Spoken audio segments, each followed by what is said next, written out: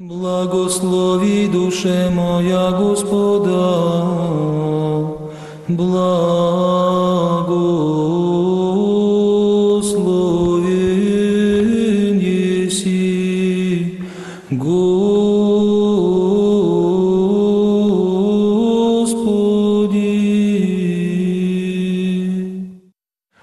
Здравствуйте, дорогие братья и сестры! Сегодня в четверг за богослужением читается Евангелие от Матфея, глава 15, стихи с 12 по 21.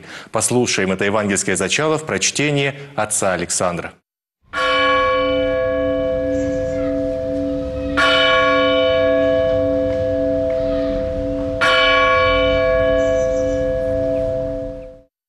Время оно приступыше ко Иисусу ученицы Его реши Ему, весели яко фарисеи, слышавши слово соблазнишася, он же отвещав рече, всяк сад Его же не насади Отец мой Небесный искоренится, оставите их, вожди суть слепи слепцем, слепец же слепцаще водит оба в яму впадетася, Отвещав же Петр рече ему, скажи нам притчу сию. Иисус же рече им, единачили и вы без разума есте, не ули разумевайте, яко всякое же входит в уста во чрево вмещается и афедроном исходит. Исходящие же изо уст от сердца исходят, и та сквернят человека. От сердца бы исходят помышления злая, убийство, прелюбодеяние, любодеяние, тать был же свидетельство хулы. Сия сусквернящее человека, а еже неумовенному рука мояси, не сквернить человека. И шет оттуду Иисус, отыдя во страны Тирские и Сидонские.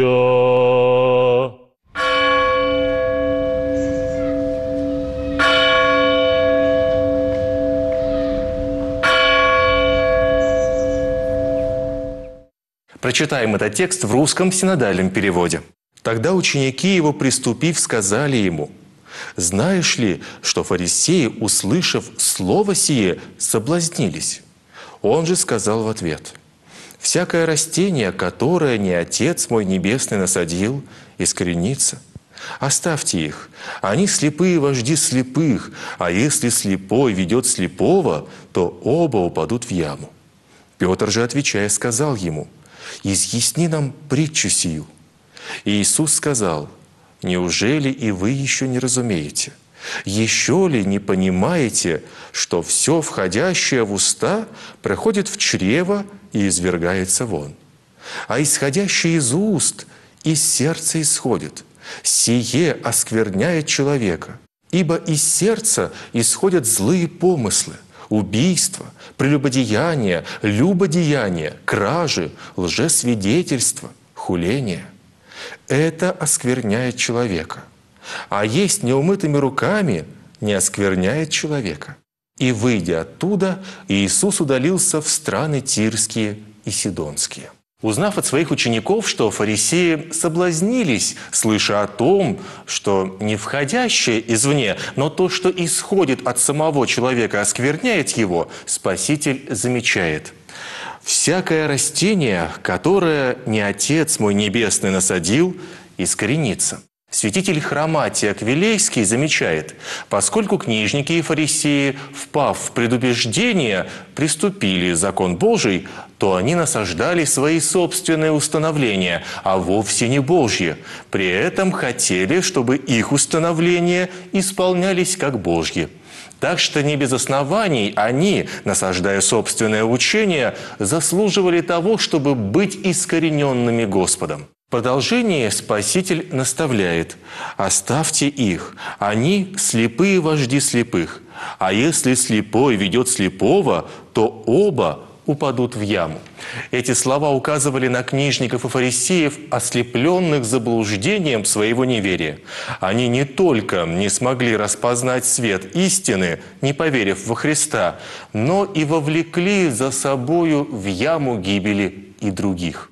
Ефимий Зигабен поясняет, что Спаситель называет их слепыми, потому что поток страстей ослепил их душевные глаза, и они не могут взирать на свет истины. Мало того, они являются сами вождями ослепленных вследствие непонимания Писаний – Апостолы восприняли как притчу слова Христа о том, что пища, входящая в уста, минует душу человека и извергается вон, не оставляя и следа греха в душе. Но грехи, исходящие из уст и из сердца человека, оскверняют его. Именно поэтому Петр и попросил Господа «изъясни нам притчу сию». Дело в том, что ветхозаветная религия иудеев имела важный аспект повседневной религиозной жизни – понятие чистого и нечистого. Так, в 11 главе книги Левит приведен длинный список э, нечистых животных, которых нельзя употреблять в пищу. Это и верблюд, и заяц, и свинья, и страусы, и другие, которым было запрещено прикасаться в том числе после их гибели. Спаситель же утверждает, еще ли не понимаете, что все входящее в уста проходит через чрево и извергается вон, а исходящее из уст из сердца исходит. Сие оскверняет человека. Священномученик Григорий, епископ Шлиссенбургский, пишет – Отметь, что твое сердце есть ключ добра и зла в тебе, и что, следовательно, ты полный ответчик за все твое внутреннее нечистое. А если ты полный ответчик за свое сердце, то надо тебе быть полным хозяином его. То есть надо, чтобы сердце в твоих интересах было проводником только одного добра, но не зла и греха. Надо, чтобы и внешнее влияние, когда в них есть элемент греха, сердце пропускало через себя, как желудок, пищу, не оскверняясь ими, а чтобы добро текло из сердца постоянной, широкой и свободной струей. Но что именно, дорогие братья и сестры, по словам Спасителя, делает человека нечистым? Злые помыслы, убийство, прелюбодеяние, любодеяние, кражи, лжесвидетельство, хуление. Это оскверняет человека. Митрополит Сурожский Антоний указывает, что одно мы забываем. Забываем, что есть грех в нашей жизни. Делаемся к нему нечуткими. Забываем его легко, скорбим о нем мало. А вместе с тем это единственное несчастье человеческой жизни – все остальное может быть чисто. Грех темен. Грех оскверняет. Грех убивает человека. Вот на что мы должны обратить наше внимание и направить все свои силы. Необходимо помнить об этом и следить за своим сердцем, потому как Господь смотрит на то, что есть в глубине наших сердец.